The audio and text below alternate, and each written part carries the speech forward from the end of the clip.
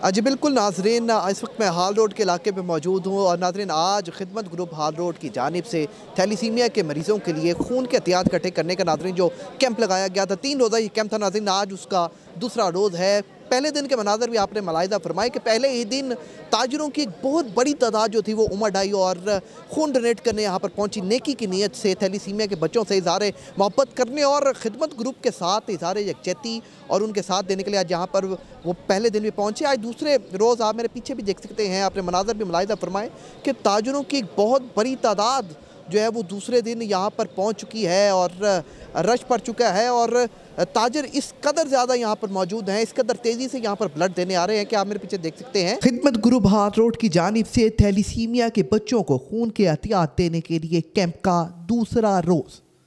दूसरे रोज़ भी ताजर बिरादरी जोक तर जोक टोलियों की सूरत में खून के एहतियात देने पहुँचे।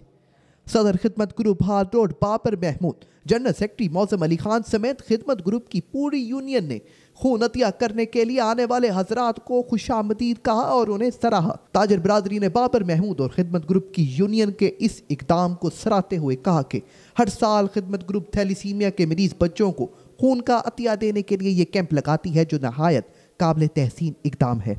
ताजर बरदरी का कहना था कि हमें थैलीसीमिया के मरीजों से हमदर्दी और बाबर महमूद और उनके साथियों से मोहब्बत चाहत यहाँ खींच लाती है। इस मौके पर बाबर महमूद का कहना था कि मैं तमाम ताजर भाइयों का शुक्रिया अदा करता हूँ कि वो बड़ी तादाद में टोलियों की सूरत में यहाँ पहुँचे। उनका कहना था कि इन हम अपना टारगेट एक हज़ार बोतलों का पूरा करेंगे। उनका कहना था कि बस अल्लाह से दुआ है कि वो हमारी इबादत कबूल फरमाए। कैमरामैन नदीम के साथ मलिकन सब, निज़ाम टीवी, लाहौर।